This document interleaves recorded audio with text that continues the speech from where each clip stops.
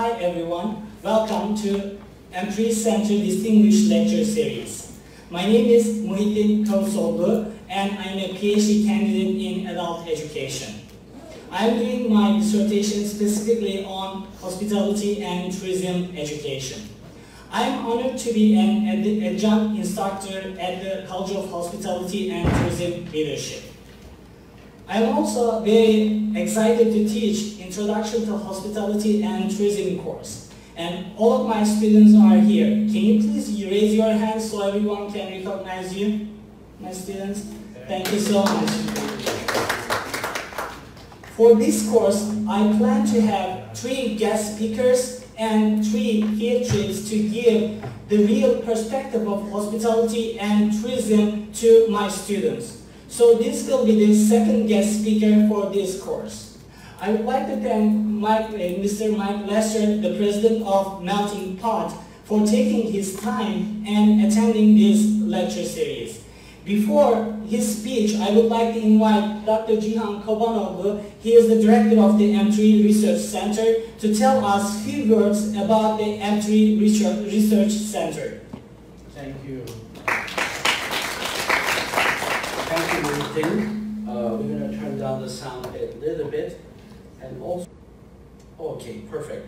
Um, as Muhittin said, my name is Dr. Cihan Çobanoglu. I'm the director of the M3 Center which is the Center for Hospital Technology and Innovation at the USF uh, Sarasota Manatee. Our hospital school usually, uh, I mean, it's easy in Sarasota, uh, but we offer this class here, Muhittin's class. Uh, therefore, it's, it's, a pleasure to be here. And um, M3 Center uh, is a research center. Uh, we do a lot of different activities in the M3 Center and uh, one of which is to have distinguished speakers like Mr. Mike Lester to come and speak, share with us. Usually we use webinar, so our guest speakers could be any place in the world, but because today he's right here in local in Tampa, so we wanted to have him in person, which we are so grateful to have him. Um, without further ado, I would like to introduce our Dean, Dean for the College of Hospitality and Tourism Leadership at USF Sarasota Manatee, Dr. Pat Moreo, to introduce Mr. Mike Lester. Dr. Pat? I have to move this down. I, I, I am standing up. I just thought I'd tell everybody that. Um, it's, a, it's wonderful to see you all here. I'll start with a shameless advertisement. The shameless advertisement is that we are opening a branch of the College of Hospitality and Tourism Leadership here on the USF Tampa campus, and we're opening another branch on the USF St. Petersburg campus. So it will be one College of Hospitality and Tourism Leadership geographically dispersed. And probably, I, unless people wanted to, they probably wouldn't have to come down to Sarasota. Even for the lab courses, we're, we're going to make arrangements to do all those here. So some of, most of you in this class I know are already committed to a major, and that's fine. Um, but if you're not, or tell your friends about it, it's okay. And uh, we'd love to have you join us. We'd like to welcome the students in the back of the room. I don't know why they all sat in the back. But these are our certificate program students from the uh, hotel school, hotel and restaurant school in Taiwan called NCUT. And uh, it's a wonderful university. The whole university is devoted to hospitality. So give a welcome. And that leads me into Mike Lester. And so he is on our board of advisors, which we are very grateful for. And uh, he is president and CEO of Melting Pot. He's going to tell you all about that company. It's a, it's a, it's a great concept that they have figured out how to, how to take nationally. Uh, but he was with Outback Steakhouses, steakhouses for many years and developed uh, those concepts as well and partnered with folks to expand uh, operations there. He graduated in Kentucky with microbiology. It's okay, there's hope for microbiologists to, uh, to do something Very useful. Huh? Very clean restaurant. Very clean restaurants. so without further ado, let's give a warm USF welcome to Mike It's a uh, pleasure to be with you here today. Um, I'll tell you a little bit about myself. I did go to school at the University of Kentucky and I was seeking a degree in microbiology. And I absolutely had zero desire to get into the restaurant business at that time. I remember I was working in restaurants since the time um, I was 14 years old, started as a dishwasher at a Red Lobster in our town. And uh, I think we broke some labor laws even back then, even though I was a Stone Ages. I think, I don't think I was really allowed to be working those hours, but I did. I had no desire, and then it just kind of bit me. The hospitality bug bit me. And I realized I liked serving people. I liked making people happy. I liked this business. Uh, it was energetic, it was engaging, it was challenging. I liked it. I liked it a lot. And I had no idea that I was going to like it as much as, uh, as I thought. Um, I remember even, uh, I was thinking about, okay, what am I going to do now?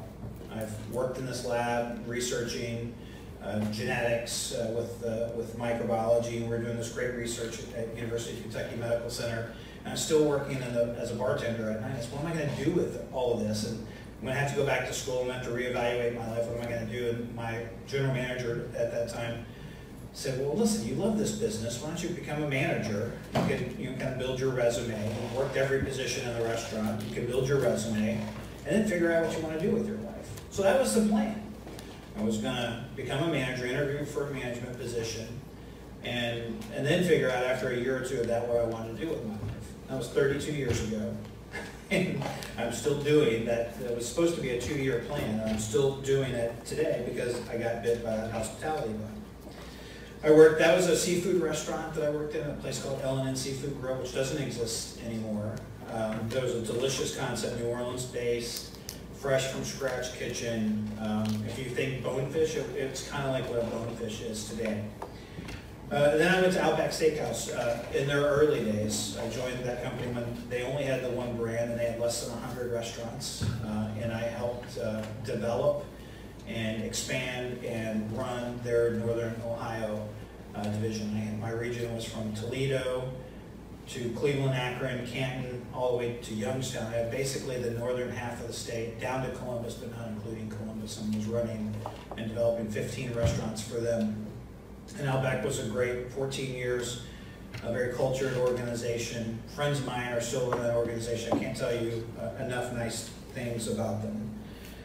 12 years ago, more than 12 years ago, though, I, I thought about, okay, what's next? What's the next challenge for me? And I met uh, the owners of Melting Pot, Bob and Mark Johnston.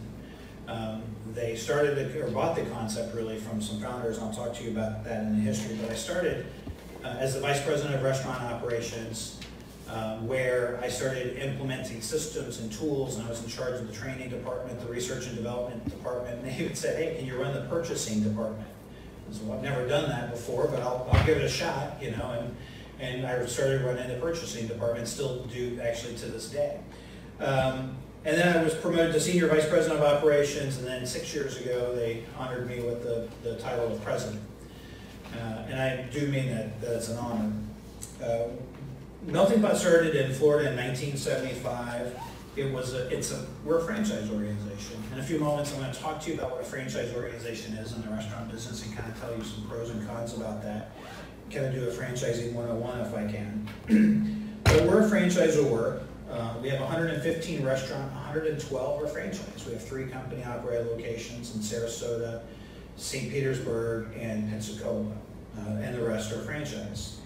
So uh, we're in 34 states and five countries. We have uh, Middle East and Canada and Mexico, and then developing in other countries as we speak. So um, by show of hands, who's been to the melting pot before? All right, so not that many. Well, we are a unique interactive dining experience. Uh, we bring, we're all about fondue. Really, no one competes with us in this experience. We make the cheese and chocolate fondues at the table. We melt the cheese, we'll, we make it at the table, then we bring a fresh salad, and then we do an entree fondue. Entree fondue means that you cook it at the table. We bring you unprepared meats that are cut up into pieces with marinades and rubs and lots of sauces and you cook it yourself at the table. And then, of course, we finish with delicious chocolate fondue. And what's interesting about that, and I'll throw out one quick statistic. Does anybody, give me a guess. I like to ask questions. So give me a guess what the average national restaurant system would love as a percentage of their guests who order dessert or appetizer. Throw out a number. Nobody's, I won't ridicule you, I promise. Percent? Ten percent, okay? That's actually pretty close, on desserts especially. What else? Eighteen? Pretty close. And that's really interesting. I was on a panel discussion with the executive chef at, uh, at a multi-unit food service operators conference with the executive chef of Cheesecake Factory. And cheesecake is in their name. And guess what percentage of their guests order cheesecake? Twenty-five percent. Eighty percent of melting pot guests get appetizer and dessert. Seventy-three percent of our guests get all four courses of cheese fondue, salad, entree fondue, and chocolate fondue. And that's a, that's a statistic that most restaurants would die for. You know, I can tell you my former brands that I represented, we were lucky to have six percent to your ten percent. We were lucky to have six percent of our guests have a dessert. And uh, here, Melting Pot just takes that, and we that's been that way ever since we've opened the doors in 1975.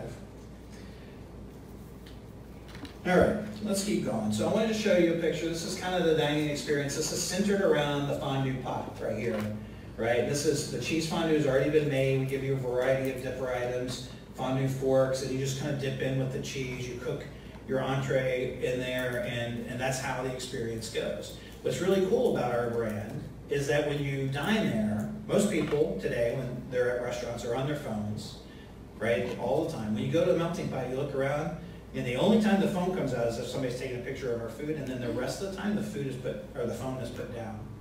So we're the cell phone killer. So people go and they experience each other's company, and they engage with one another, and they're not on their phones unless they're taking pictures of the food. That's our first melting pot in Maitland, Florida. Actually started here in Florida back in 1975 by two guys named Roy and Bruce. So Roy and Bruce, you know, fondue was hot in the 70s. Anybody's parents have fondue sets in their closets? I've got a couple in my closet, even before I started working for Melting Pot. But uh, there, it was really hot in the 70s. Has anybody been to a fondue party that hasn't been to Melting Pot? Have you ever hosted or been hosted uh, for a fondue party? It's a lot of work. So that's why Roy and Bruce said, hey, we're going to do the work for our guests because it's really engaging experience. Everybody loves it. We're going to do the work for our guests. And we're going to do the dishes for everybody afterwards. But these guys started, they opened this restaurant for $5,000. But they ran out of money at the end, and they only had enough money to build one table. One single table. So what they had to do, their first day of business, is they opened up that door, you see the little padlock there, they opened it up, they let one table in, and then locked the door. And then, of course, we have the chocolate fondue at the end. And they were struggling, they were going by, and things were happening, and there was a buzz, but not a big buzz. One of the, one of the interesting things is they started the restaurant, there was a local council person in, in Maitland who objected to the name. And so they, they went to the council, the council asked them to come and explain the name, the melting pot. And believe it or not, they said, hey, the melting pot, the melting pot brings kind of an, un, this is their words, not mine, an undesirable element in that name. So they said, we're not sure we're gonna allow you to use that name, so you gotta come to this council meeting and explain the name. So they went to the council meeting thinking, well, what, we can't fight City Hall, so, you know, we're gonna have to change the name. But what happened was the community, and it's a diverse community around Maitland, the community heard about that, and they packed the City Hall. And one person after the other, after the other, went forward and talked about, you know, how it was, it was quite an honor to, for a restaurant to honor the integrity of, of the United States and us being the melting pot of the, of the world where everybody can come together, all these different cultures can come together. And that was an honor to that. And that, why would the council have an objection to that?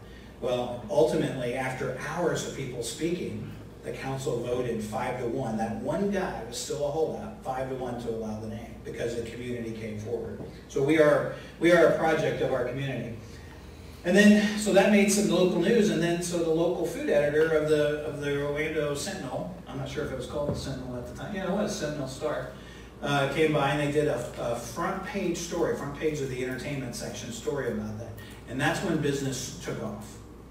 They, they didn't know what to do. They started hiring people, and they they were pretty much their own staff, and they started hiring a bunch of people, and and things started taking off.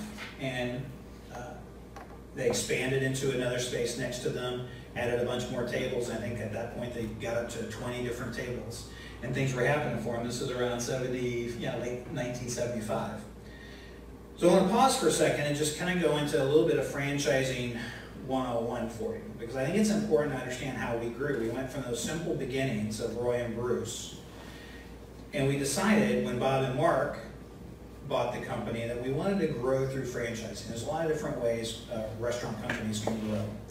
One way is they can get some, you know, private equity to help them grow and infuse some capital into. They can go into debt. They can uh, borrow a lot of money, uh, or they can choose to grow through franchising. And so that's Bob and Mark cho- chose to grow through franchising. So what is franchising? Well, basically, franchising is a marketing system revolving around a two-party agreement whereby the franchisee conducts business according to the terms specified by the franchisor. We're a franchisor. We have an operating model. We have recipes. We have uh, service guidelines. We have training support, marketing support. We have uh, construction and design support. We have $35 million of spend under contract for our franchisees, driving costs down for them because we pull our buying power. Um, and many, many other areas of support. Um, so that's what we're doing as a franchisor. A franchisee is somebody who's an entrepreneur whose power is limited by the contractual agreement with the franchisor. They get all the benefits, and I'll show you kind of a chart that I created. They get all the benefits of the experience of the franchisor, but they also get some limitations, and we'll talk about that. And uh, we're the franchisor, we're the party in the franchise contract that specifies the methods to be followed and the terms to be met by the other party. Why is it important for a franchisor to specify standards and methods? This is interactive. Somebody yell it out. It's, was it, they worked before, so you want to keep the pattern. All right, so you have a higher likelihood of success, right? All right, why else? That's good. Take care of the name.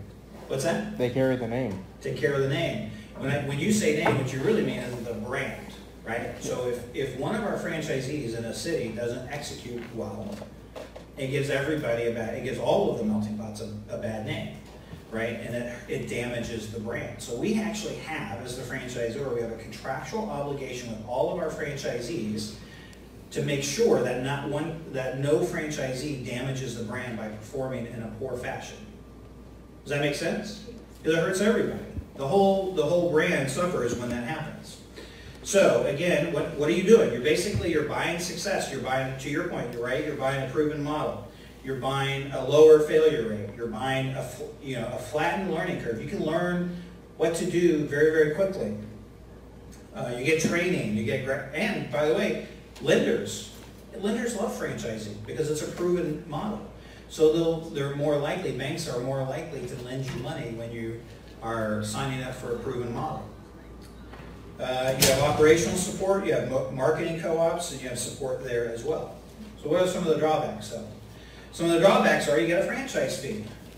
Typically, a franchise fee is anywhere between, uh, uh, depending on how complicated the restaurant is, anywhere between as low as twenty to as high as sixty or seventy thousand dollars. Ours is forty-five thousand. What does a franch- franchise fee buy you? It buys you uh, the training support at your opening. It buys you your own personal training. It buys you all of the things that you need, all the expertise that you need in which to open up your restaurant. You also have a royalty. Royalties average between three and six percent of sales, right? Some I've heard go higher. Ours currently is four and a half percent of sales. So for every dollar of uh, fondue our, our franchisees sell, we get four and a half cents of that. That's going actually up in the, in the next five to ten years. Uh, that's gonna go up to five percent. Industry average for full service restaurants is between five and six. We've always been below the industry average. Add co-op fees, that's when you pull, like all the subways in the market pull all their money together and they buy TV. Because one little restaurant can't, they don't have enough money to buy a TV commercial, but when you pull all your money together and you, and you create a cooperative, you have to pay into that and you, and that's mandatory. So those average anywhere between one and six percent. The average is probably between two and four. And they vary greatly. Ours is actually very low because we don't have like Subways or some quick casual restaurants. We don't have market, we don't have geographic density because although we have 115 restaurants, they're dispersed all over the country. So it's hard for us to buy medium. Investment costs are typically around six hundred thousand for a quick serve, or up to two million dollars if you buy a full-service franchise. Because you have to get a liquor license. In New Jersey, for instance, it's, uh, we just recently bought a liquor license in New Jersey and paid seven hundred thousand dollars for one liquor license. The state of Florida for a four COP is about twenty-five hundred for a liquor license. I mean, that's the difference between the different states. Uh, our FDD, I have to give you this disclosure because our franchise disclosure document, we are regulated, franchising is regulated by FTC, the Federal Trade Commission. So we have to be very clear about what we say uh, to prospective people who might be interested in a franchisee. So I have to tell you, our sheet says between 1.2 million and 1.8 million for an investment standard. So what are some of the restrictions? We have to follow the standards. You can't cook what you want. You know, if you own a Burger King, you can't put a quarter pounder with cheese on your menu. You're not allowed to do that. You have to only put on your menu what Burger King says you can put on your menu. You have a lot less auton- autonomy. You still own that business, but you still have to follow the very strict standards of the franchisor.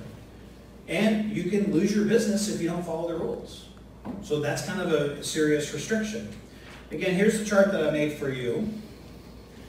When you talk about initial responsibilities, very low for a franchisee, but if you're an independent branch, it's very high. You have, you have to do everything. But for a franchisee, you have a lot of support. Creative control, you get very, uh, you get very little uh, creative control as a franchisee because you have to follow the systems and standards of the franchise. But if you're an independent, you can choose anything. If money, actually you require a little bit less money as an independent restaurant to open than a franchise. Because franchise, you have certain standards on opening. So independence went out a little bit more that way. And for experience, you have to have very little experience as a franchisee because the franchisor is going to teach you everything you need to know to open that restaurant and support you along the way and give you guidance and field operations support after that. For an independent, you better know what you're doing. This is the reason why a lot of restaurants fail in the first 12 months. Is because a lot of people jump into it and they don't know what they're doing. And that's where if you don't know what you're doing, you can you can a lot of times your first exposure to the restaurant business, it's a good idea to do a franchise. So you can get your eyes on that. So this is how we grew. I want to talk a little bit about culture because this is when Roy and Bruce started the company and they worked it up to about five restaurants or something like that. And that's when Mark Johnston, who was a server at that original melting pot in Maitland, Florida, when he was going to UCF. He was a soccer player, and he, it wasn't called UCF back then, I don't know what it's called. But he was working his way through college, and, and he, at the end of college, just really wanted to be a franchisee. So he actually talked his older brother, Mike, into going into business with him, and they started their very first melting pot in Tallahassee, and then expanded to the Carrollwood one, uh, and they've opened several more. And then Mike uh, and Mark brought their younger brother, Bob, who's our current CEO, Bob Johnston's our current CEO, into the business as well. And then they bought, the three of them bought the company from Roy and Bruce. Roy and Bruce were great. They love they love creating things, but they didn't want to grow it. They didn't want to run it. They just, you know, they, they were ready to let somebody else have kind of that drudgery of everyday work to, to grow something like that. Um, so Mark, Mark and Bob and Mike bought it. You can see their first 10 years though, they struggled. I mean, from 1984 to 1994, they only went from 5 to 20 units. Why that's important is because during that 10-year time, Patrick and, and some of us older people can tell you, in, in the restaurant chain environment, chains were exploding at that time. Outback Steakhouse started in 1988. When I joined their company from 1988 to 1991, they had over 100 restaurants by the end of 1991. And today they have over 800 restaurants and five different five different brands, I think it is. Um, they have over 800 Outbacks and 300 Carrabba's. I can't remember how many, but they have a lot of restaurants. So during the same time that they got, uh, in three years, they got 100 restaurants. In 10 years, we went from 5 to 20. So that, that growth was very anemic. And we were really struggling. We didn't know why, because we thought people loved us. But what we learned here is about our culture. We didn't, we didn't have a culture. We read an article, actually it was about Outback, Chris Sullivan, in Harvard Business Review. Um, And then if you've read the book Good to Great, it espouses much of the same principles. If you're not a cultured or principled organization, you don't tend to thrive as much as those who are. Now, Mark, Bob, and Mike had great values. I mean, they were good people, but they, they always they had this idea, well, that's business and, and this is who we are personally. They kept trying to have two different personas, and they tried to be these, pardon my French, these, these really tough business people, but, you know, they tried not to mingle their business and personal lives. But when they learned that we needed to be a value-based organization, they said, oh, well, we have these values personally. Let's just infuse our personal values into our business and then that's what happened. We created, I'll show you on the next slide what we created. We created a culture, and we rolled it out to all of our franchisees. We even gave away a car when we introduced it. And that's when they introduced it. That, this is what TGS is, Total Guest Satisfaction. That was the title of our culture back then. And they went from 20 to more than 120 in the next 10 years because of that. It had everything to do with the values that we were teaching our team members, our managers, our new franchisees. If you didn't align with these values, you were not going to be a part of our organization. That's, I mean, super important. Here's what our card looks like today. It's the melting pot culture. We call it the mission, vision, and principles. It's driven by a focused, strong mission and vision. We have 10 different principles. We have five different stakeholders. We make commitments to all of them, and we tell them, this is what we're going to do for you. For our team members, we promise you that we're going to be a great place to work. For our vendors, we promise you that you're going to be proud of our relationship together. And those are the kinds of things that we did. And, and people all of a sudden were attracted to us. They said, hey, we want to be a part of that organization. That sounds good. I want to be a part of that group. And we grew. So that's how we got, I'm really skipping because, I mean, we're a 44-year-old brand, so to go cover 44 years in 90 minutes is, is really tough to do. So I'm going to I'm going to leapfrog a little bit, so I'm going to jump about 20 more years here in the future. So I want to talk about brand evolution a little bit. And that's really important. The, the people who, raise your hands who ate a melting pot again. When was the last time you actually ate at one? Two years ago. Two years? Six months. Six months? Like two weeks ago. Two weeks ago, you're hired. Thanks. Who else? Long time. I had two years, one year. Typically when I ask that question of an audience, I get, I get, most of the answers are like here, which is in the years. I ate there two years ago. It's my favorite place to celebrate a birthday, but I'm only gonna celebrate every other year. Our average diner only dines with us every, I'm sorry, 1.8 times a year. We've increased that recently to 2.3. That's not a lot of frequency, and they and they view melting pot for these kind of special occasions, either romance, boyfriend, girlfriend, or whatever, romantic night with your significant other, or for a celebration, a birthday, anniversary, graduation, something like that. They they view us uh, for these special events. But we have this whole core group of loyal guests that will dine with us every week. But the bulk of our guests and consumer base only dines with us a couple times a year, and that's just not good enough we have to do better in this really competitive landscape in the restaurant environment. So we've, we've tried to do a lot of brands have tried to do, right? I love to show slides like this when you look at, you're talking about, you know, the, the, the company, right? And the brand and, and the name. Well, look at, look at all the iterations of logos every one of these really big companies have had over the years. And do you know we're only, Melting Pot's only on our third logo? 44 years, and we're only on our third logo. Yet all these other companies continue to iterate and, and grow and innovate and evolve. So good brands evolve or they die. I had the honor of, of listening to uh, David Novak, former CEO, chairman of Yum Brands, uh, who was, you know, KFC, Taco Bell. And um, during his tenure at Yum, the, the company doubled to 41,000 units under his leadership. His message about brand growth and brand relevance, he said, all right, here's, it's really simple. This business that we're in is really not that difficult to conceive or to understand. It's hard work, but it's not difficult to comprehend. He says, what you do is you talk to your guests, talk to your customers, and ask them, what are the one or two things you want us to do differently and then go change it. just go change it and go fix it. So it's really basic when you think about that. So, you know, we did that. We started really, we've always listened to our guests. So we really started listening to our guests in a whole new way. I mean, we got really aggressive about it. So what do we do? Well, we created focus groups. I actually attended every single one of the focus groups, three different focus groups in uh, five different cities. So a total of 15 different focus groups inside the melting pot. We did, we broke down the, the customers into three different groups. People who had never tried melting pot before, the never trieds, the lapsed users, which are the guests who, like you, haven't been in more than a year, right?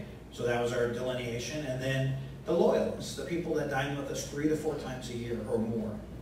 And we had different kind of scenarios. What was really interesting is they told us a lot of the same stuff.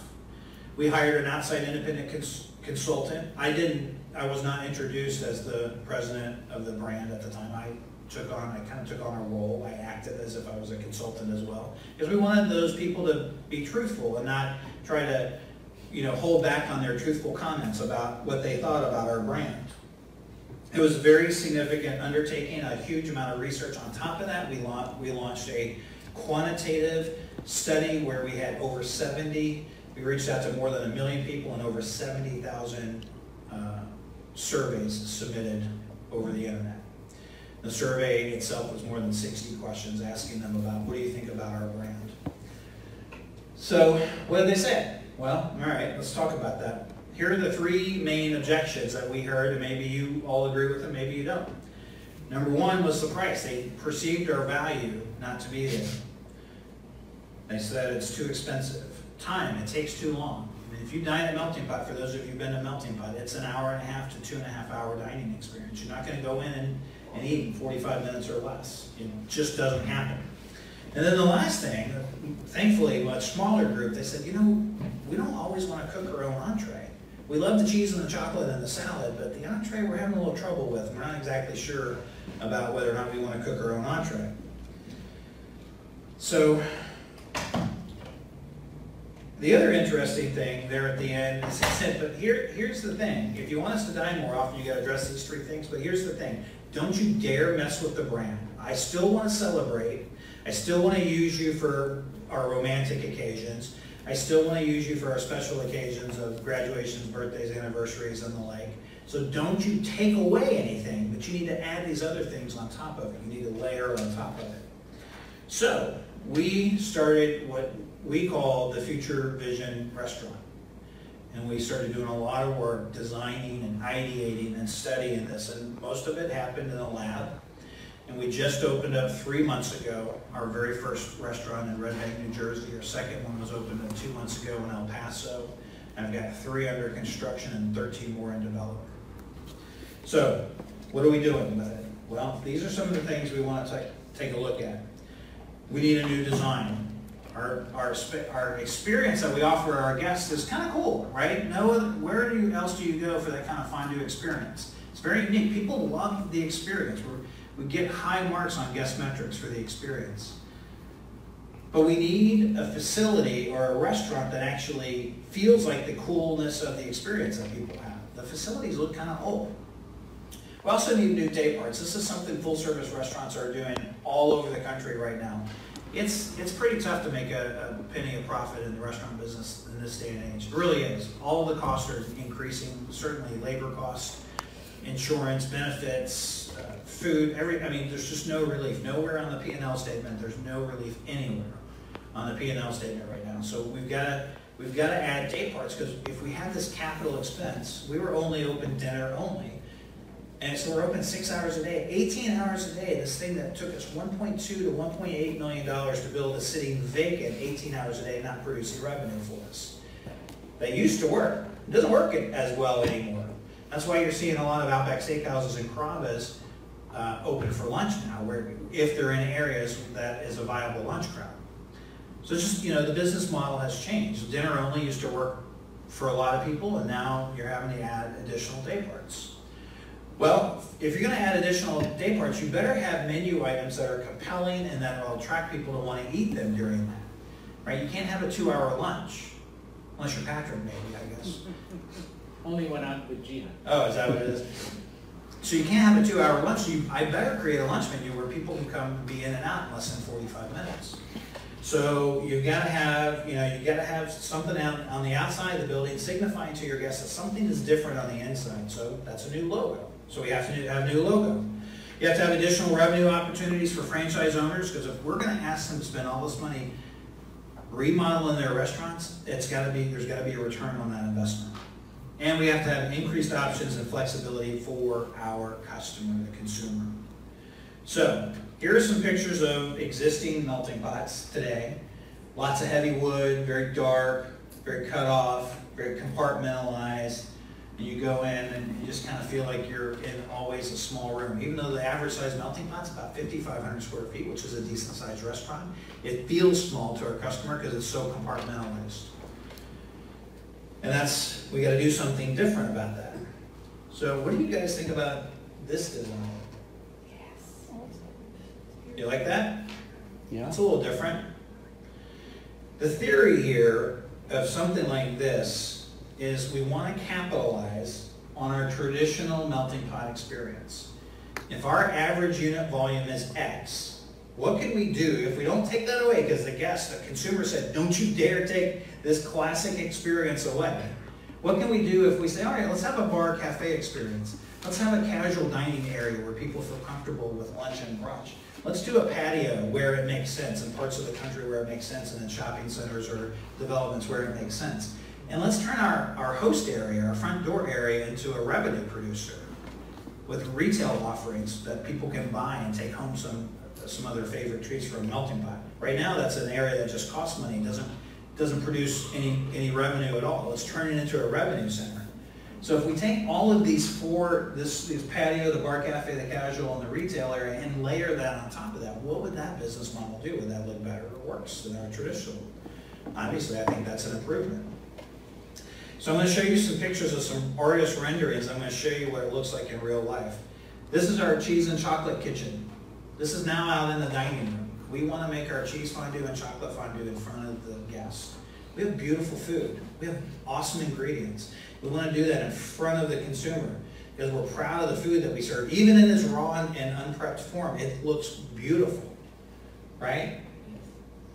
This is a, our new wine focal area where this is kind of adjacent to the bar where we'll have a, a table and these wine machines. And we've created a wine blending experience where we give a guest a little bit of Cabernet, a little bit of Merlot, and a little bit of Malbec, and we, and we teach them how to blend it together. And they come up with their own percentages, and they get the perfect red blend for themselves. It's kind of a cool experience where they can, and then we write down that recipe. The next time they come in, we'll make it for them. Right? It's kind of cool. This is our new bar. What do you think of that? Did you go to a bar like that? No? No, you wouldn't? I mean, when you were 21? Oh, I would go. I'd never been to a bar like Oh, that. yeah. Yeah. I would go. This is really interesting. This is the kind of collaborative experience that we had in creating this. And we had all kinds of stakeholders. We even had our office. We, we toured the country talking to our franchisees and their teams. And this right here, this back bar, these are all of our, our uh, mainstay cocktails. And inside these cubby holes are all the liquors and the glassware and the garnishes of each one of those. So you can look in that cubby hole and you go, oh, okay. The Love Martini has the peach and the vodka and the this that's served in that glass. You don't need to read the menu because you're seeing a visual representation of what that recipe is. And you know who thought of that? Our 22-year-old accounts receivable person. Uh-huh. Has never worked in a restaurant a day in her life. But she thought it, that's her idea. I love it. And I could, I could name like those globes, that's somebody's idea, the- that artwork. I mean, there's probably, you know, hundreds of people's touches on this as we, as we embarked upon this. We did add TVs. We don't want to be a sports bar, but people expect screens in restaurants these days, even nice restaurants. So uh, we added TVs, we have fresh garnish displays in the front. These are infused portals. Next, you'll see this area, this new thing, whiskey aged, or sorry, barrel aged cocktails. We're not just doing whiskey though, we also have some barrel aged uh, white liquors like vodka and things like that. Um, I had a guy in uh, our Red Bank location, we had him on video the other day, and his favorite drink is a Manhattan, and we've been barrel aging Manhattans, and they age 21 days before we serve it. And he said it was the best Manhattan. He's been, I mean, this guy's in his sixties. He says, I've been drinking Manhattans all my life. This is the best Manhattan I've ever had in my entire life. And then we also want to have a little bit of tongue-in-cheek humor. This is a, a sign towards our restrooms. It's the please seat yourself restrooms. You know, let's have a little fun while we're at it. All right, and then this is our uh, main dining room slash party room. So we do, most of our melting pots have private dining rooms today, but they're not used very often. It's one of our least efficient pieces of real estate. The sales per seat in a private dining room in a melting pot is the lowest dollars. We analyze that than any other type of table in the restaurant. So we said, all right, we still want to accommodate large parties, but how can we do that with, with, without that? So we've created a much more flexible seating than we have. Here you're seeing uh, Lucite uh, partitions come down from the ceiling and actually divide tables. And when they're up, you can have an A top. When they're down, you have two four tops. And you have privacy because they come up and down. You can see some black and white uh, movies being cast on the, on the stone of the, of the fire feature. And just some really cool colors and finishes there. You like that? Yeah. Very much. All right, this is our casual area. Because again, if you're gonna be open for lunch and brunch, you know, we actually had as a building design, we used to cover up windows for melting pots because we wanted that cozy feel. So now the new design is let's, let's add a lot more windows. And so this section of the area of the restaurant, high, super high ceilings, uh, lots of windows, lighter, brighter, and you can't tell it, but these tables are movable. And that's something, I know it's not, and you're like, so what? Restaurants move tables all the time. Not melting pot, because we have cooktops, burners wired in every table. So all of our tables across the country are bolted to the floor because there's electricity in them. Well, we figured out a way to, have movable tables in, in a way that the, the, the building code people would allow. And it took us a long time to figure that out. So these tables can either be, you know, two tops, or you can push them together and have one big party. But you can see it's lighter, brighter, fun, real airy. All right, this is how it looks in reality. This is the new melting pot in Red Bank, New Jersey. Here's the kind of the casual side right here. Those two, those tables are the movable ones I just told you about. They're put together right now for a party of eight, where they can be four different two tops. That's the bar. We had lower ceilings here, so we had to deal with lower ceiling heights. Very comfortable. This uh, building uh, was built in uh, 1910. It used to make uh, uniforms for the U.S. military in both uh, World War One and World War Two. In the concrete floor, you can actually see uniform buttons embedded into the concrete because it was a textile. All right, so there's our wine focal area. You can just a sneak peek of some barrel aged cocktails. There are our wines. This is how we're doing the blending. This is our cheese and chocolate kitchen out in the dining room with a retail area. You can buy our cheese and take it home. You can see our cheese and chocolate tenders. If you if you go by there and you say hello to one of them, they'll give you a sample. Hey, you want to try something? You can have a chocolate covered this or a piece of cheese, and they'll engage in a conversation with you. Our fire focal turned into a candle focal because the fire department wouldn't let us do fire. And then we learned, then we learned the guests like the candles better, uh, which was really good because that actually saved us about fifty thousand dollars going from fire to candles. And it's better, so better and, and less expensive, that's a win-win. We're starting to use uh, wood tables more often, and I don't know if you can tell, but this is a party of four. We have two fondue pots and two cooktops on there. Most of our restaurants only have one cooktop on a party of four. So that allows the guests more ability to, to customize their dining. If they have two couples there, they can, they can have two different pots, whereas right now, most of our restaurants, two couples have to share one pot. So that's Lover's Lane is a, this, we have an area of our restaurant full of romance, we call it Lover's Lane. Mm-hmm. Somebody sat in the Lover's Lane area? Very private, you can go there. Um, And so we created the Lover's Lane here too, behind the candle wall. Uh, people really like that. And then we did, we had to put something different on the outside of the building. So this is our current logo and ninety-nine percent of the melting pots. That's our new logo. What do you think? Fondue plus drink plus kitchen. Well, the reason why we added the kitchen, and and also here's another one where we talk about the brunch, lunch, happy hour, and dinner. I'll do one more kind of uh, concept slide.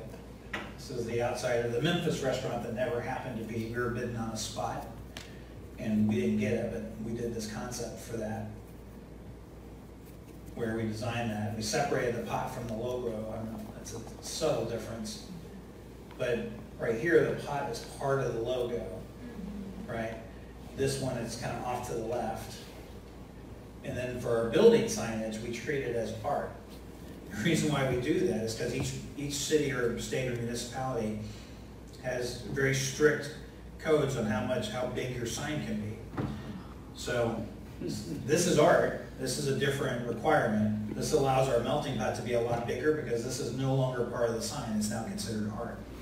So our sign can get bigger and we can still meet the code.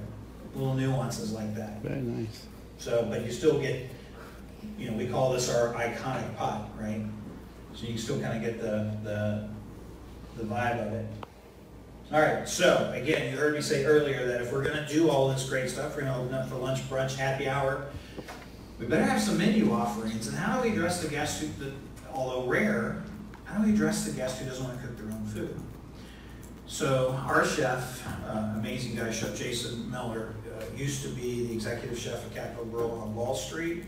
Worked with David Burke, who is a celebrity chef, owns a number of high-end restaurants around the world. Um, was the personal chef for Ludacris. Yeah, I know.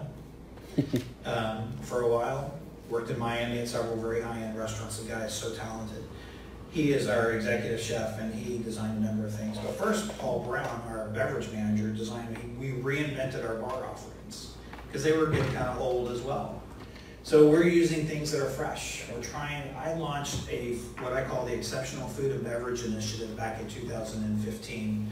And what we're trying to do is rid our food supply of 13 artificial ingredients, preservatives, and additives that are not good for you. And it's not easy to do that because we have to buy ingredients from food manufacturers and they don't always care about those things. So I'm happy to say in the first three years, we've eliminated seven out of 13 out of our food supply. So we're gonna, the remaining six are gonna be a little bit tougher. So a lot of these bar drinks that you have at, at different um, restaurants, you get really interesting flavors. They're really high in uh, fruit, fructose and lots of artificial flavors and ingredients and colors. And to do that in a fresh way is not always easy. That's why these companies produce those ingredients for ease of operation. These are all using fresh and enhanced ingredients. Uh, this is our new signature Mai Tai. This is our new gin and tonic. Gin and tonic, I know you guys are like saying, what? What's so exciting about a gin and tonic? Let me tell you what's exciting about that. This thing is using a bottled soda water. We made our own tonic syrup that we mixed with the soda water. That's all natural. Uh, and we put like five drops in a glass and then uh, four ounces of soda water. We put in uh, pickled juniper berries in here. We serve it in a wine glass, which is a traditional way of serving a gin tonic in Spain. This is the number one drink in, in Spain right now, is the gin tonic. Yes? Okay, so Mike, so for example, on the gin and tonic then, because people don't realize tonic's got a lot of calories. A lot of calories. So you've cut the calories probably in half, because vodka, More than half. gin is not that bad, right? Yeah, more than half, So, so the flavoring works well. And it's all natural, hundred percent natural. Everything, there's no additives, no preservatives, no chemicals, hundred percent natural. This is our melting pot mule, let's go back. This is our melting pot mule, we put it in a mule mug shaped like our fondue pot, isn't that cool? Uh, I can't see, what is that? Oh, yeah. So the, that one's our freshly picked margarita. It's the first all-natural cocktail that we did. That's also the easiest. I don't know why more restaurants don't do that. We use only fresh juices for that. We don't use any margarita mix, no powder, no uh, Rose's, lime syrup, none of that stuff. We just, it was all fresh. We squeeze fresh juices for that every day. And it's, I mean, it's not, it's hard work, but it's easy, it's easy to do. This is our, um, this is our old fashioned. We actually implemented uh, two old fashions, so a modern version with a twist um, that has this uh, Earl Grey bitters that we produce in it instead of the regular bitters. Our beverage manager, Paul, went to Louisville, Kentucky at a, a, place called the Pendennis Club. And that's the club more than 100 years ago that invented the old fashioned. So he toured there and talked to their bartenders and went to, to the bourbon trail and, and talked to the bourbon makers of Kentucky and said, how, how do we make the best old fashioned? That's the kind of care. By the way, who wants his job? Wouldn't that be a great job to have? Traveling the world, mixing exotic cocktails for a living? I want that guy's job. But, um, but that's the link that we go to to make sure that we are taking, you know, a modern twist on classic cocktails that meet our exceptional food definition of no preservatives or additives that we don't want. Right? Does that make sense to everybody? Yep. All right. So, we have to also think about that guest who doesn't want to cook their own food at the table. It's less than 10% of our guests, but we could lose a lot more than 10% of our guests with what we call the veto vote. Has everybody heard, has anybody heard of the veto vote? So you got a party, let's say there's four of you, and you're trying to decide where to go eat. And you start with this big long list and you start vetoing certain restaurants because one person doesn't like this and one person doesn't like that. I don't want steak tonight, I don't want Italian, I don't want Mexican. And you, and you start going down the list, the next thing you know, you're just left with this really short list of restaurants and you pick from that. We want to be in that list more than we are today. So we said, okay, how do we do this? And, you know, we even though five people might love fondue, one person who doesn't love it will veto it for everybody. So we created these prepared entrees for that one person out of 10 who doesn't like it. So in St. Petersburg, uh, that's one of our early adopters of this menu. There on 4th Street, they're doing this menu right here, not, but they're doing this menu here in, in St. Petersburg, and we'll see that. We'll see a party of 10, and it's, and it's usually one person out of 10 who's eating one of these prepared entrees, and the rest of them are eating fondue. It's usually an old guy eating the prepared. Else, the younger people are eating the fondue because it's it's new and, and cool. Uh, this is a chicken and waffle, and let me tell you, I, happen to be a chicken and waffle expert, and I can honestly tell you, Chef Jason has created the best chicken and waffle I've ever had. This is really good. This is a new cooking style that we've added. This is all restaurants um, across the country. We also are concerned about our calories that we offer our guests. And, and when you cook your own food at the table, there's really only a couple of ways to do that. One way, the traditional way of cooking your entree is with cholesterol-free canola oil. You're basically frying it at the table. What's good about that is it's a better flavor profile. It sears the outside of the meat and allows you to cook your steaks to temperature. If you like a medium rare steak, you can do that. The other way is we have three different flavored broths, right? We have one that's a mojo, which is a Caribbean-inspired, fresh juices and the like. Um, another one, which is a au vin, which has red wine and garlic and mushrooms, um, scallions in there. And another one that's just a vegetable bouillon for the purist who wants the food to shine through, just a lightly seasoned vegetable bouillon broth. But basically there you're boiling your own meat. And that's the objection a lot of our guests who, who object to cooking their food at the table. They don't like boiling their meat. It's traditional fondue, sure, but uh, some guests don't like that. So we uh, created the grill because people have moved away from the oil because it's just not very healthy. The calorie count when you cook it in the oil is, is substantially higher than the broth, but some people just don't like the flavor of boiled meat. So what do we do with that? Well, so we created this grill. We have all of these cooktops in the tables. So let's put the grill in there. So now people are actually grilling their food at their table. We've lowered the calorie count. You're able to sear your food, uh, cook it any way you want to. You have total control over everything. It's fun. It's engaging. People have a really good time doing it. So that's that's why we introduced that. That actually was just introduced August 28th nationally. Yes, Patrick. Mike, so uh, the cooktops, are they induction then, so they don't get hot? We have three different cooktops. Two are induction, and one is a uh, regular cooktop that's under glass. But yeah, induction is the wave of the future. Our new cooktops that we just developed with the manufacturer, um, we did so at a lot less money than our previous versions. They're smaller. That's why we're able to get two in a table than we used to, because they used to be massive, but now they're much smaller. And we have to worry about safety of our guests too, because if you're providing heat sources at a table, somebody could burn themselves. I mean, that's your plan. So how do we how do we provide safety? And we have all kinds of different ways of doing this as we take that, see that fondue pot, when that's, when that's full of three hundred and fifty degree hot oil, how do we transport that from the kitchen back into the dining room and back from the dining room back into the kitchen safely where guests don't get burned, where our, our team members don't get burned? That'd be a bad thing.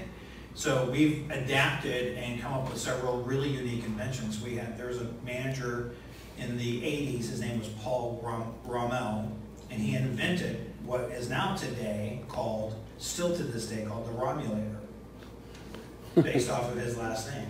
And it's a simple clamp device that goes over the top of that fondue pot and clamps that lid shut. It has a rubber gasket, a high heat rubber gasket. So when you're, when you're carrying that pot, there is no spill whatsoever from the broth or the oil from inside of that pot. So we actually have fewer burns at Melting Pot than what we had at restaurants that I used to work at, like Outback Steakhouse or Ellen Seafood Grill. Burns are very rare. I better knock on wood. All right, so that's the grill. Um, this is our four cheese panini. So if we're gonna be open for lunch, you gotta have a sandwich, but we don't want just ordinary turkey sandwich. And we own cheese. By the way, the best cheese in the world, literally, is in this sandwich. In 2016, a company called Emmi Roth Käse from Wisconsin, Madison, Wisconsin, actually New Glarus, Wisconsin, submitted their cheese, many of their cheeses, but one of their cheeses in the World Cheese Championship in Birmingham, England. It happens every other year. More than 3,500 participants from around the world. Usually Europe wins. Some country in Europe wins this, because Europe, I mean, they've been making cheese for hundreds of years. They've mastered it. In 2016, Emmi Roth Käse won the entire competition with their uh, Grand Cru Surchoix, which is a really kind of a Gruyere cheese. And they won the best cheese in the world, and there's a little bit of that in there, and, and there, and it's in two of our other cheese fondues. So we are li- our cheese is not out of a can, it's not, you know, Kraft. We use artisan cheese manufacturers for, for melting pot. And it is high-end stuff, best cheese, literally. In fact, we did a promotion called the best cheese in the world not long ago. So the- we have the four cheese panini. This is literally the best grilled cheese you'll ever eat in your entire life. And yes, we have tomato soup on the menu as well for lunch. Brunch. Who would have thought that Melting Pot would be a viable brunch area? Where we're doing it in St. Pete and in Sarasota. Early adopters, we have 20-something restaurants doing brunch today. So brunch is, um, this is the Alpine Benedict fondue. So most people, when you get a when you get an eggs Benedict, it's usually a poached egg with some sort of meat on an English muffin with hollandaise sauce on top of it, right? So how do we make that a fondue? Well, we put we put the cheese, right? We have a cheese fondue, which by the way has the best cheese in the world in this in this fondue. we have we have freshly made scrambled eggs. We have Canadian bacon in here. We also have a half a cup of hollandaise sauce in there. So you get the flavor of the egg and the hollandaise sauce and the ham, and what you're dipping in it, what these are, are fresh croissants or English muffins. So you're actually using the English muffin to dip into it. And uh, last week in St. Pete, we sold more than 100 of these uh, in one Sunday. We'd never been open for brunch before because we didn't know we, we could we would have a compelling menu item, but people love this. Some of the other things we have on the menu is a, another ham and Fontiago cheese panini, a burrata melon salad, so we use fresh watermelon and blanched asparagus, and burrata with a balsamic vinaigrette on top of it. It's really good. Fig and goat cheese toast. This is probably the simplest thing. on- Everybody does avocado toast. Do you guys like avocado toast? Everybody does it. We do goat cheese toast. It's amazing with, with figs on it. Really good. Stuffed brioche beignets, the chicken and waffle it is on this menu as well. This is a, this is really innovative, the, the oatmeal fruit brulee. So what's the, fir- if you, who, does anybody here eat oatmeal? What's the first thing you add to it when you eat oatmeal? Honey, Huh? honey. Honey, to sweeten it, right? If you're healthier than most people, most people add lots of brown sugar, hmm. right? Or some sort of sugar, they sweeten it up. So we said, how are we gonna do that? Well, you know, our chef is really creative, so what he created was a dish where he actually brulees the top of the oatmeal, so we get that, like you have a creme brulee for dessert, You get that sugar brulee crispy topping on top of the oatmeal, and then when you stir that in, it just, it's just so amazing to have that, car- that caramelized sugar on there like that. It's really uh, outstanding. Wow, I got through that quick. Um, so that's our evolution. I can talk a, a few minutes about about that, and I think while I'm kind of wrapping that up, let's let's. Um, I want to talk a little bit about culture first, and I'll tell you a couple of stories, but I want to also um, answer any of your questions because I like to answer questions. One of the things when I when I was talking to Bob and Mark Johnston back in 2006 and trying to find out if I was interested in being a part of their company, they told me that I interviewed them harder than they interviewed the reason why I did that is because it was important for me to have a right cultural fit. I wanted, I wanted to make sure that my values aligned with the values of the company I was going to go to. So, and thankfully they did. Remember we were talking about the mission, vision, and principles, the, the, the, the card that we have. Every, every Melting Pot team member has it on their person all the time. I have one in my back pocket right now.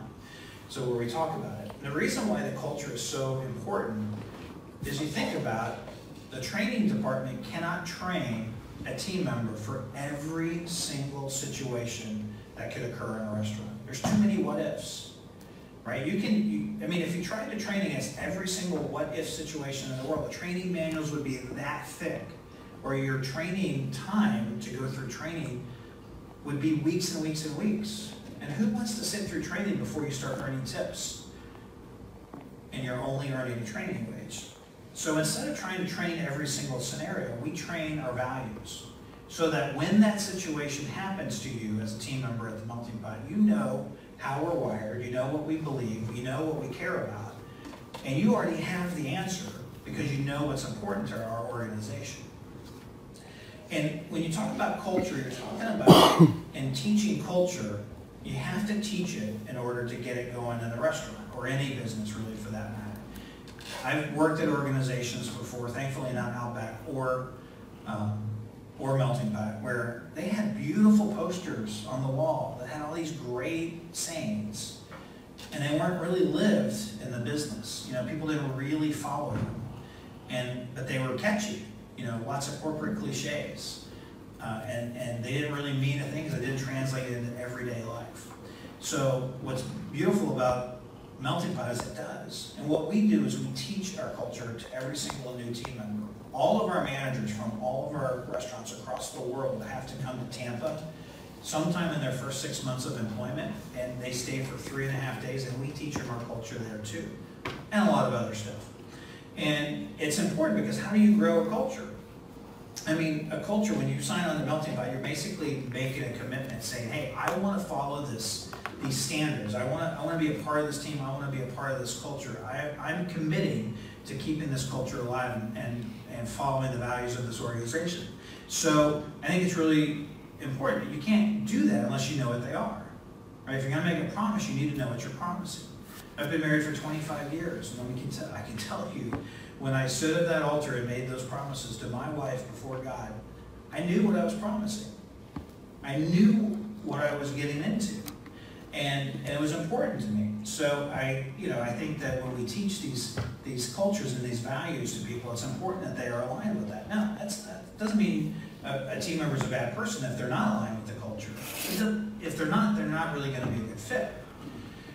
But I tell a story about a manager who was working in a restaurant one night and he saw a spill on the floor. So he grabbed the closest server to him, and it was this young guy he told me the story as some millennial guy. Um, and he says, it's, and I just told him to, you know, go wipe up that spill. So this manager was an older guy. Um, and he's, he, and the server says, this guy was a good server, but he was kind of rough around the edges. He, did, he wasn't real polished. And he says, well, why, why should I do that? It's not really my job to wipe up the floor.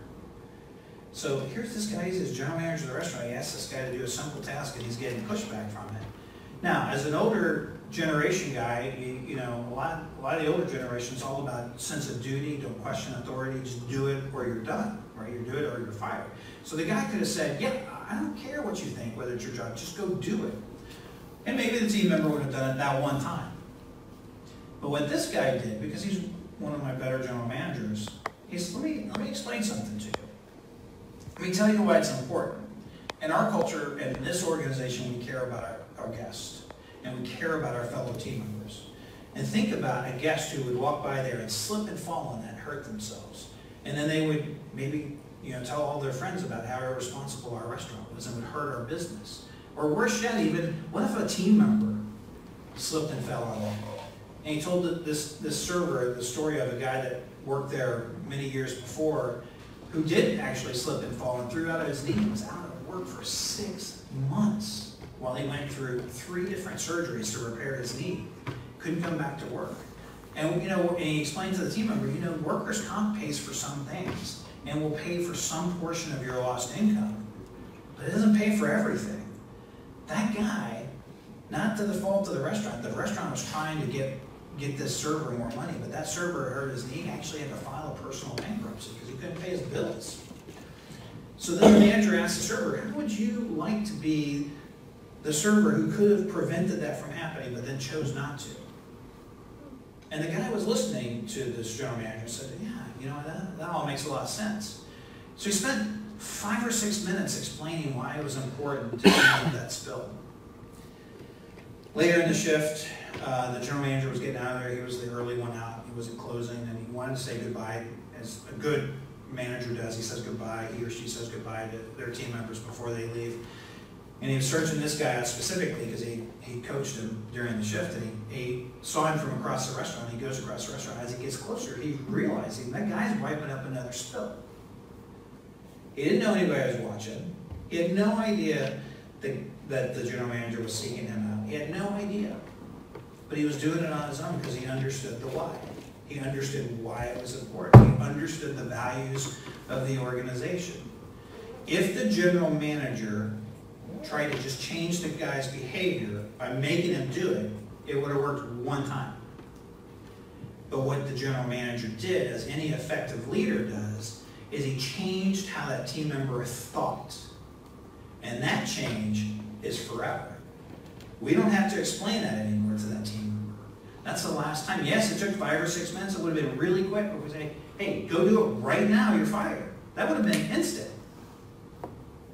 But he took five or six minutes to explain all of the lies. And he changed forever how this guy thought. And that guy ended up being an assistant manager. He ended up growing his career with that, with that uh, location. Because we had a really great leader there that explained to people the why. And that's what culture is, right? Does anybody know Simon Sinek? You've seen his? Well, do me a favor. Google Simon Sinek and watch his TED Talk on Start With Why. It's a book also, but if you're like me, you'd probably rather see the TED Talk. But he explains it, that you have to start with the why. You have to tell people what it is you're doing, but not just the what, you have to start with the why.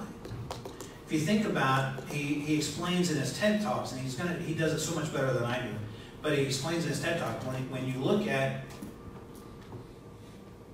Microsoft, for instance, or let's say Hewlett Packard, any, any PC maker, when you look at a PC maker, they say, hey, do you want to buy a computer? We make it this, and they go through all the specs and things like that. What Apple does is they say, hey, we want to make your life better. We want to have engaging software and, and hardware that's easy to use and making your life better. We happen to make computers to do that. Want to buy one? So he starts with the why of what it is we're trying to do. We're trying to make people's lives easier and better. They happen to make, the, the, the how is they happen to make computers. And then the last thing is, do you want to buy one? Every other computer manufacturer, they start with, want to buy one? They start with that first. So starting with why is all about organizational culture. I just did a, a speech about my grandfather, Clyde Baker, uh, to all of our franchisees. And I, I think about this, this guy. Um, Clyde Baker was in World War One. He survived. He was in the 1906 earthquake of San Francisco. He survived it. He lost his first wife in the Great Spanish Flu epidemic of 1917, but he survived it. He was in World War One. He, he was one of the first victims of modern day chemical weapons, because that's when the Germans first dropped mustard gas on our U.S. troops. And he suffered health uh, issues as a result of that all of his life.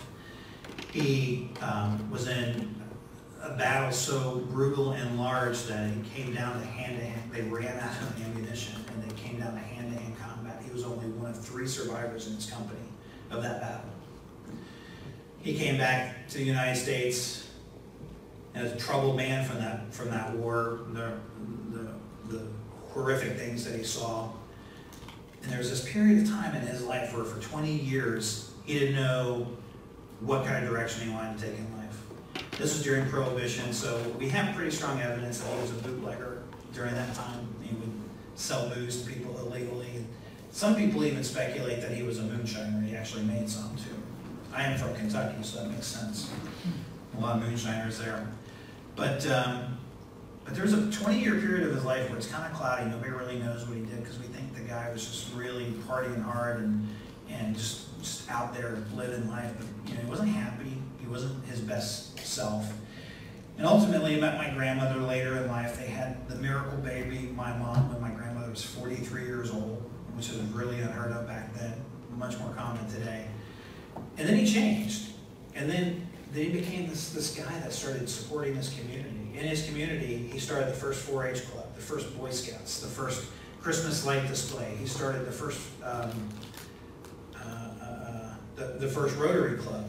Uh, he helped charities. He, did I say Little League? He also started the first Little League in town. All of those things that he started are still going on to this day.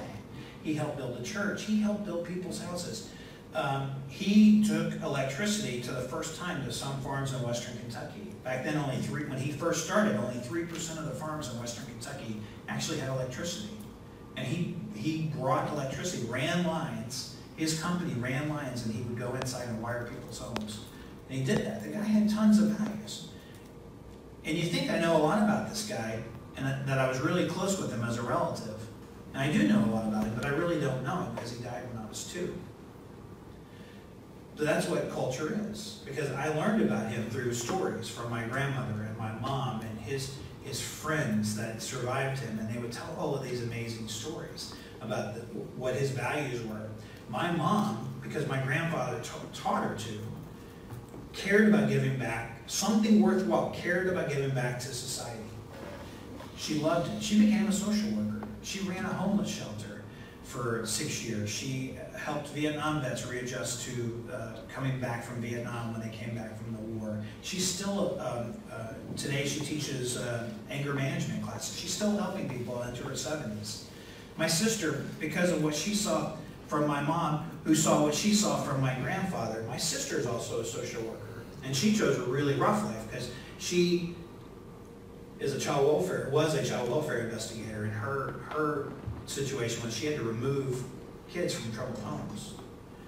Um, so she did good work, but it was very stressful. All of that, though, started with my grandfather. Those values and principles kind of came down from him.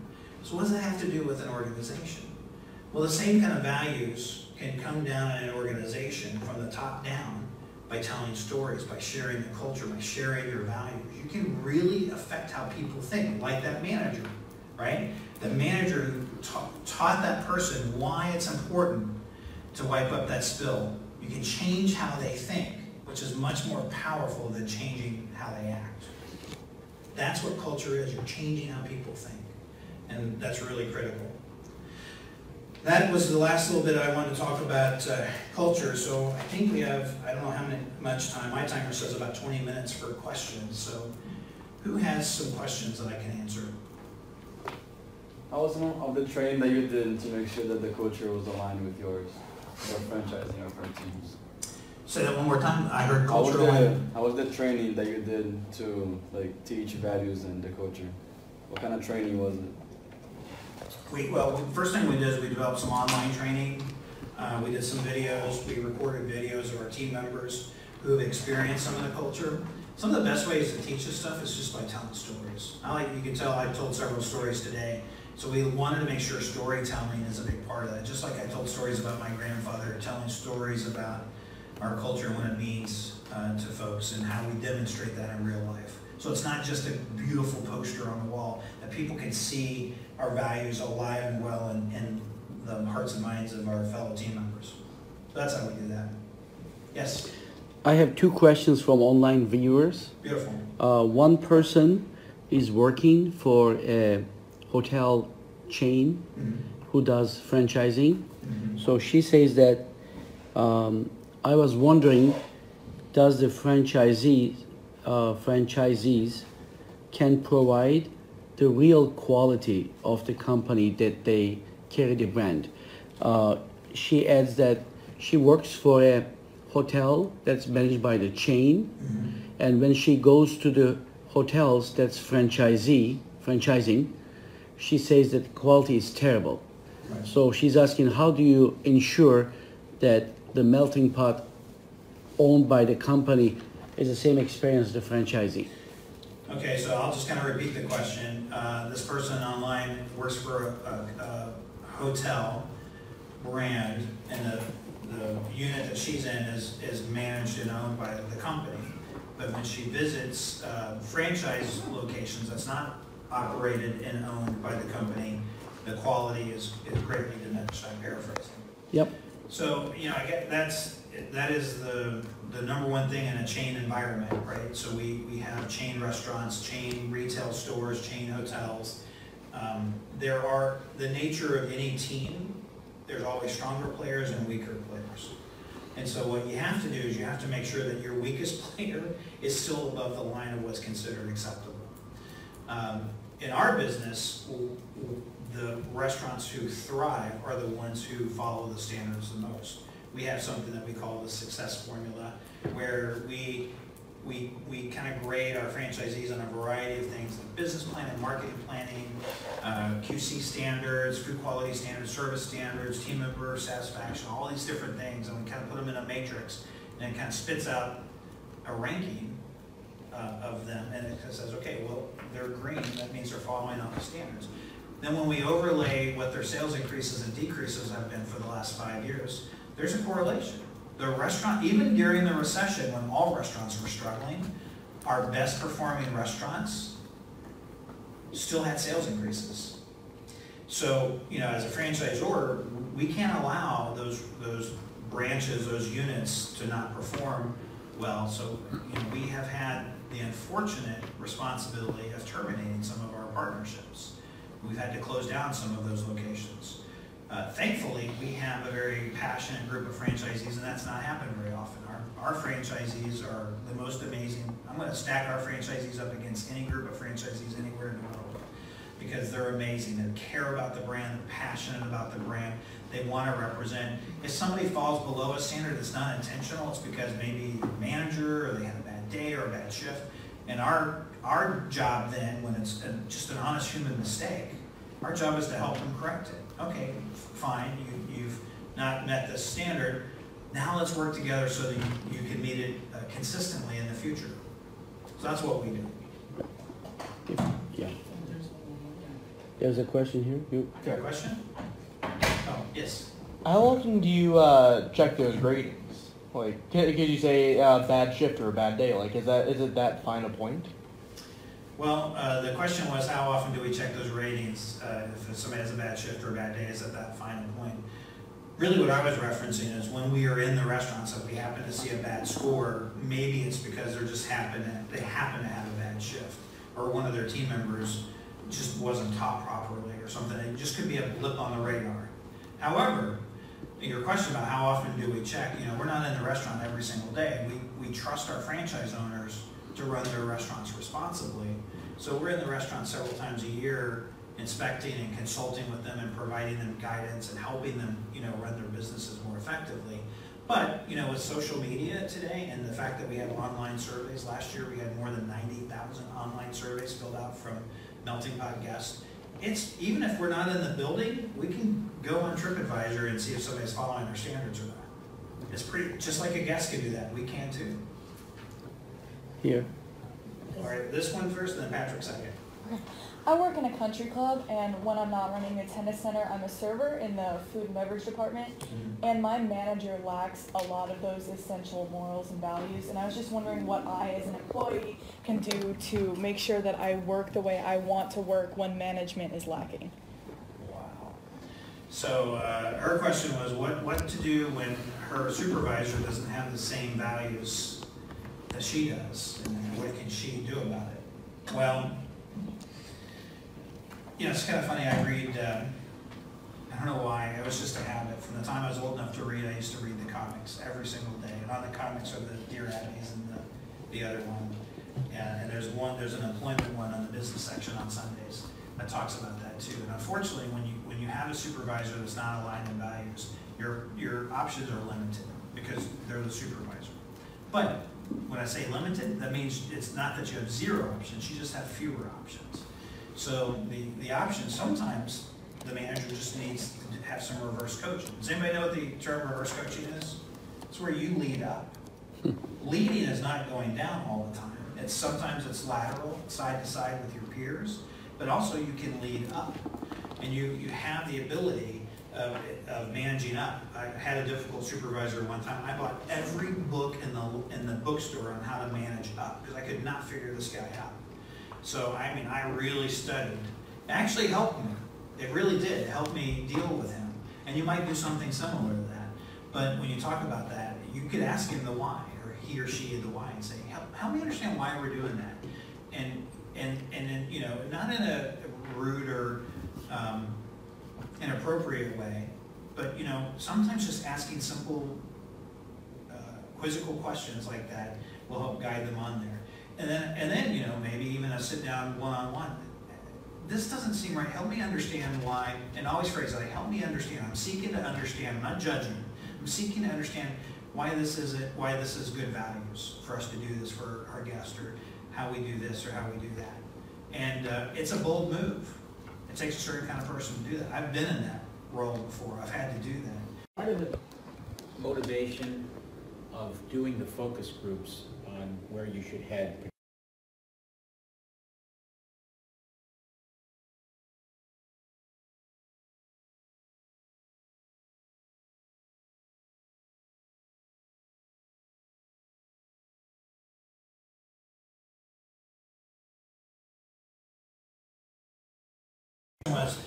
the focus groups, having done them in the restaurants was part of the motivation there to involve the franchisees. And I'd say absolutely. Our franchisees are so important to us. And we really do. I use the word, and I use this seriously, I revere our franchisees. I have deep respect for our franchisees. Our franchisees are spending more than a million dollars of their own money in putting that kind of faith in our brand. So I take my responsibility as the brand president to honor their trust and faith in us. I take that super seriously. I can't fail them. I don't want to fail them. Um, so I take that very, very seriously. So we try to involve them and, you know, we, we, uh, we try to be transparent along every step of, of the way. And, um, and so, yeah, that was part of it. The other part of it, though, uh, and, and truthfully, I'll be candid, the bigger part of it in this particular case is the fact that we wanted to walk the guests around to different areas of the restaurant. We would tell them, sit at that table and tell us what you think. Sit at that table, sit, tell us what you think. Sit at the bar and tell us what you think. What do you see? What's important for you? And then we would give them a menu and say, okay, if you're sitting here and you have this menu, what would you order? And our, our facilitator, this guy is a pro, uh, he got so much great information out of these guests as they were in the environment of the melting pot. If they're not there, his theory as our consultant was, how can they properly judge a building or environment if they're not actually in it? They're gonna, they might remember two years ago, right, from the last time they visited. But some of our, some of the people that we had in there were never tried. They've never been inside of a melting pot. So we had to bring them in and say, okay, now that you're here, what do you think? What, how would you use us? I think I saw another question over here. Yes, you have one more online? Yeah, uh, yeah, online. Okay. Um, one viewer said, I see that all these restaurants have different settings, lights, colors, layout. Why is it? Okay, You So- just touch in a little bit, but, yeah, sure. and then there's a second part of the question, but I will ask you after you answer this one. Yeah, I, I can actually, I have a whole PowerPoint deck on our unique restaurants that we have under the melting pot in Providence. One of the things we like to do is we like to go into a geographic area and go in, into a building or a space that's kind of unique. And we have some really unique restaurants. The inside, we, you know, we used to do in all kinds of different color schemes and patterns and fabrics and things like that, but as we move forward, what you saw here in Red Bank, that's pretty much what the inside is gonna look like. Outside and how it's put together, the, even the inside, how it's laid out, what tables go where, that's gonna vary from location to location. But we don't build a lot of freestanding melting pots, we usually go into some pre-existing structure or shopping center. We have a restaurant in north of San Francisco in Larkspur, California, that's in an old brick kiln. Literally, the walls are ten foot thick. Where, because they used to, they used to fire these bricks, and they actually rebuilt San Francisco from that earthquake that my grandfather survived. They, they made the bricks there to rebuild San Francisco. So it's a donut, because they would have the fire in the center, and then the bricks would be on the inside. We have one in a, in an old city hall in, uh, outside of Denver called Littleton, Colorado. It's our highest volume restaurant. And it's such a cool space. There's a basement where the jail used to be. And so we actually have those walls where the, the bars used to be. There's tables. You can actually eat dinner in a jail cell. And we do haunt, it's kind of creepy when you think about it, but uh, we also do haunted uh, tours there as well. Uh, People love that. Even our spot in St. Pete, uh, when you go look at that, that was a building that was built in the early 1900s by a carpenter who would sell wooden purses to the tourists. And uh, we're in that building too, and it has a very unique look and feel to it. So we like to adapt our brand to, to unique spaces, but you're gonna see more consistency on the inside as far as the design and finish go. We're kind of, I mean, from a building perspective, we're kind of the anti-chain chain because all of our buildings are different. And he is adding, uh, how easy is it, is it easy, how easy is it to portray a strong brand image with such a diverse set of service servicescape? How easy is it to, to? To, uh, to portray a strong brand a image, Strong brand image when, when your design is so different things. diverse. Um, They all still have the same look and feel, they all have the same shaped tables, they all have the same service style, our service is very meticulously consistent. Our food offerings, we do actually offer local favorites in different markets, for instance, if you're in Louisville, Kentucky, you would get a bourbon bacon cheddar there. That's not, I mean, bourbon's big in Kentucky, it's not big everywhere. Um, in New England, we have an Old Bay crab cheddar, um, sorry, Swiss, an Old Bay crab Swiss. Crab and Old Bay seasoning is very, very specific to that area. So we do have some local interest on our menus, but our style is served, our consistency comes with the experience, not necessarily the design of the. That's it from, Okay, perfect. thanks. Was The that time is same over. one You had? No, no, no. I was about to ask the same question. I was following the online. Oh, okay. video Online, yeah. Very questions. good. Did you have another one? Me? Yes. Um, yeah, actually. So the local favorites and all that, how does that conform to like the regulations and stuff? Like, is are there regulations about how to add a local favorite, or does like the corporate need to okay every local favorite? Yeah, in fact, we create the local favorites. Um, So if a franchisee in Maryland, for instance, the Old Bay, they have an idea say, hey, we want to celebrate our heritage and of Old Bay seasoning, help us create something, we were thinking about this and this and this. They might submit a recipe, but it goes through an approval process. Usually we'll tweak it or, and we'll put it into our software. We also have to worry about, you know, uh, nutrition analysis, and we also have to worry about the exceptional food initiative. So if they've chosen an ingredient that has an additive in it that doesn't meet our list of chemicals and food pres- food preservatives that we're trying to do away with, we won't allow it. We just won't, we were not putting anything new on our menu that doesn't adhere to that exceptional food initiative. Um, And we're taking some old things off of the menu that doesn't either, but it goes through a process where we approve it. So, for instance, some areas of the menu, we allow a lot of uh, flexibility, like cheese fondue. Each restaurant has six cheese fondues on their menu. Three are on every restaurant in the country, and then three, the local restaurants allowed to pick from a list of approved recipes. But again, we want to be the anti-chain chain because we really do have local owners, so we want to make sure we're celebrating the, the profiles and the, and the preferences, food, beverage, and otherwise of, of the local community. Any other questions?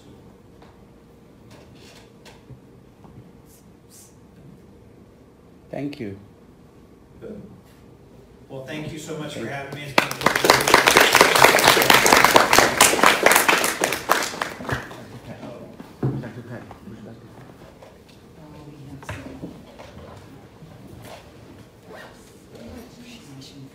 We have a certificate of appreciation for you. No, thank you. We would like to present that to you if you just come to the center here.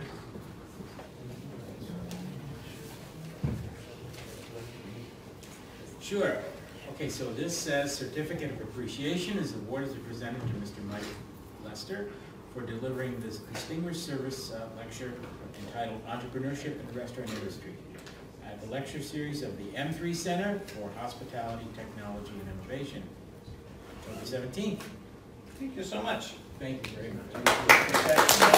much. Small thank you notes from my students. Oh, very nice. That's all I got. Oh, nice, great, excellent. Thank you so much. If you just come here, because you go there, please. Take a picture. The line is so that's Um, you step like this here. Oh, you're gonna, okay, do it like this, okay, perfect, that's fantastic. Oh, yeah, oh, here. So that the, the light doesn't come. Right, right. Yeah, here you go.